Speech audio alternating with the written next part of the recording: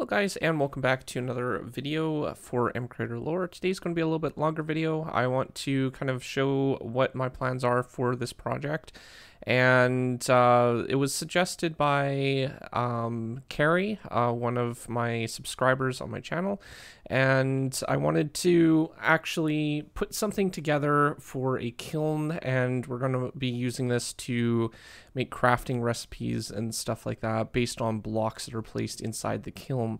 Uh, it's just a random idea that I've kind of put together and I've linked it in with a GUI. I've been doing a lot of work off camera to try to make this work and uh, got pretty good far progress uh, with the mechanics and stuff in a separate workspace. So we'll be working on this for the next couple videos.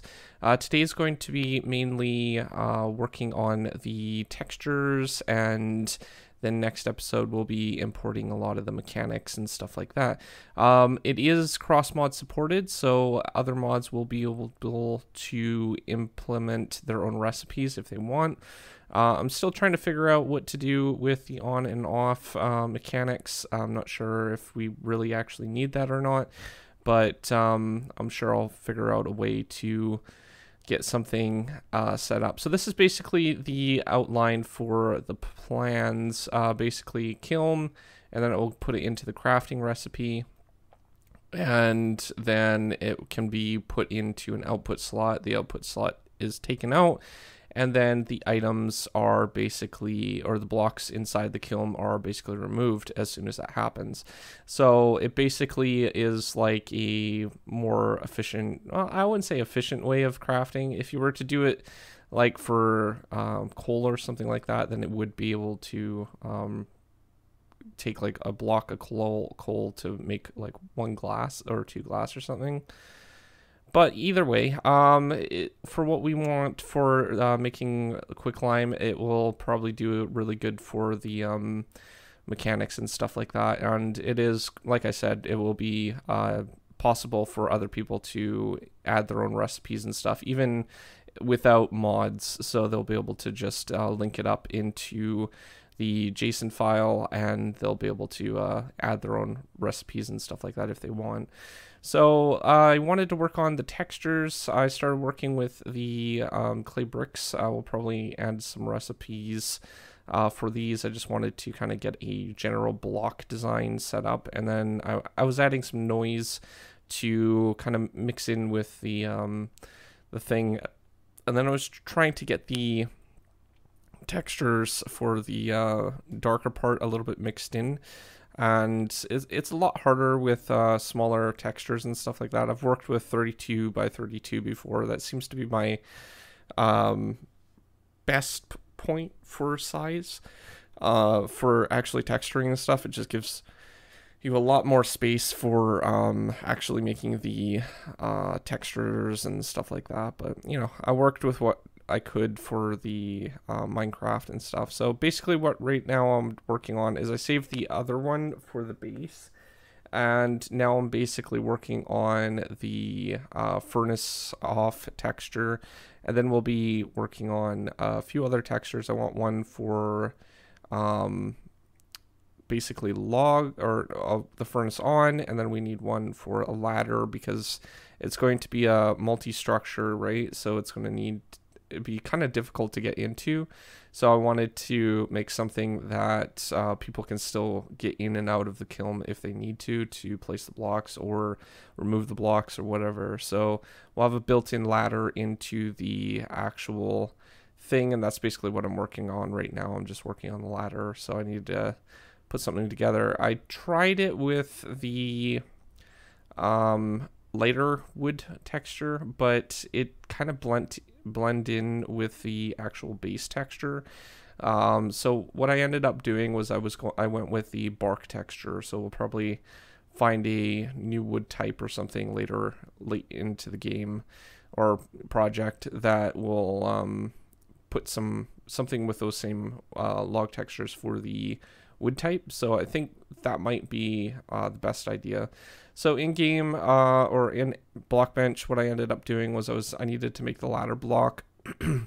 uh, this uh, changed a little bit um, since I designed it. I was playing around with the mechanics for uh, ladder mechanics, and it turns out you need to have like a pretty good portion of the the block that um, you can not collide with. So, or you can collide with. So basically, I think I brought it down to only like a small pane in the middle. So like a two pixel pane in the middle and then I put the ladders on either side. So uh, it looks a little bit different. I might try to uh, make some different blocks later in the future to make things look a little bit more smooth, but um, basically this was the idea. And right about this point, I realized that it was not going to be really noticeable with the um, the back texture, so I wanted to um, create the uh, darker wood. So we already had the textures all made. We just needed to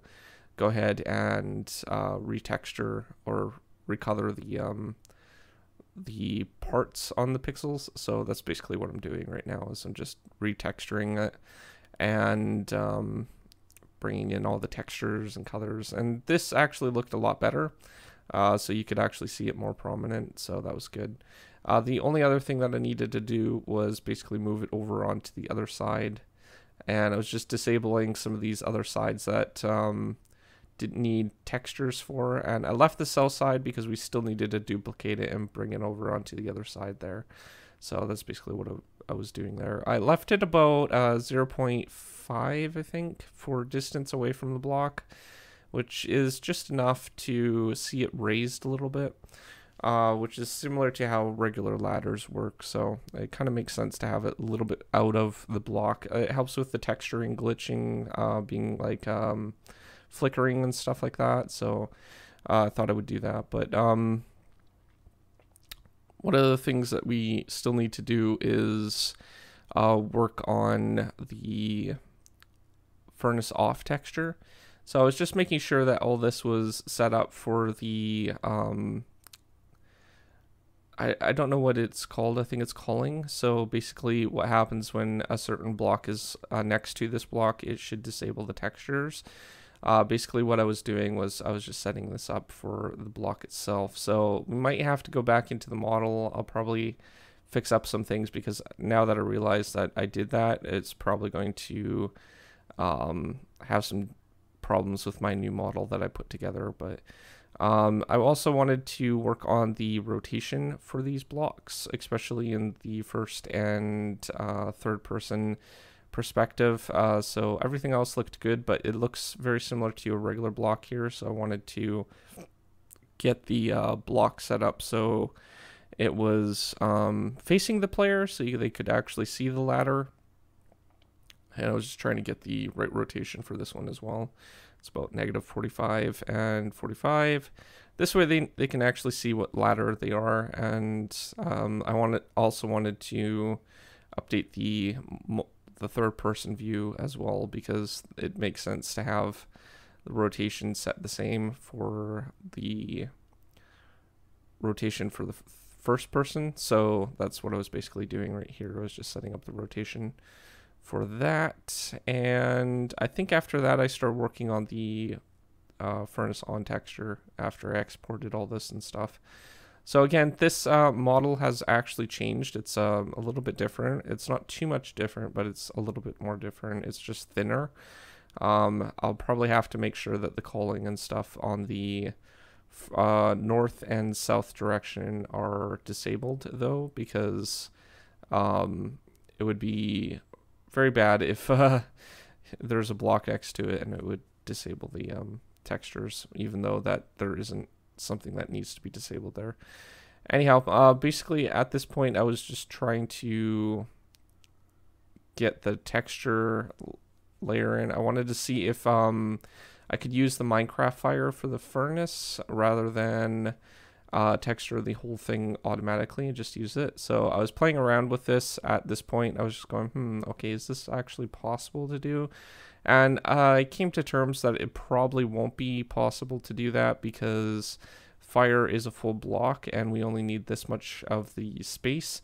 So I had to basically texture it all myself, which is okay. Uh, it takes a little bit more time, but um, we'll start working on the flame itself and we'll start with a darker kind of red and we'll start animating the process. So I was thinking about like shifting it over this way and then like updating the um, thing a little bit, but uh, I decided to just do it by hand and try to eyeball the texture above and try to get something a little bit different um, each time. Now, it's when you're animating something like fire, it's a lot harder to work with because uh, fire remo- moves in a very specific manner.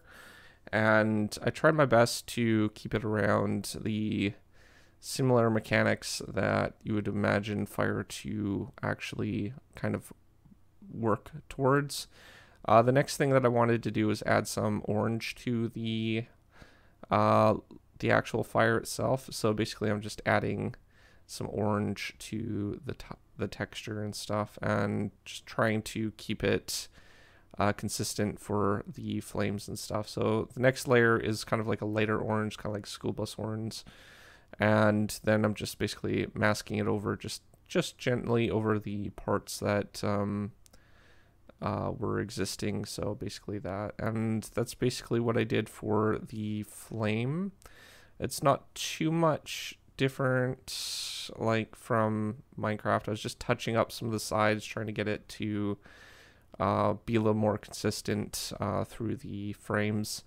And those are all the textures, so we'll be importing those now into mcreator. And um, oh, and I did update the workspace to the latest version of mcreator. We were a couple versions behind, so um, I ported to the latest version because um, trying to keep the workspace up to date. But um, yeah, so I was just needed to import the the other textures and then create the um, animated texture from our strip. So basically, this is what the texture will kind of look like. It looks sort of like fire. It it probably could have used more frames. I might go back and try to add more frames later and see if we can't um, I don't know, make it a little bit more or less repetitive. It is a little bit repetitive at the moment, but for something that is, you know, hand handcrafted and stuff like that, it's not too bad. Uh, I did set the frames to about four, I believe, just because it was uh, roughly the round the right speed for what I wanted, and we might adjust this again later on, but at the moment it will do. Um, outside of that, uh, I just needed to give it a name. I was just um, telling the or replacing it with the file that I had in the uh, file thing. So we have all our textures now. We have this one, that one, and those ones, which we can use for the uh, kiln itself. Uh, we'll be start working. We'll start working on the mechanics next episode for sure uh, importing some of the procedures and stuff over uh, from the workspace. Uh, stay tuned. I will probably post a uh, community announcement showing uh, what it will look like. But outside of that, thanks for watching. If you're new to my channel, don't forget to subscribe, comment down below, rate the video, and I will see you guys next time. Thanks for watching. Peace out.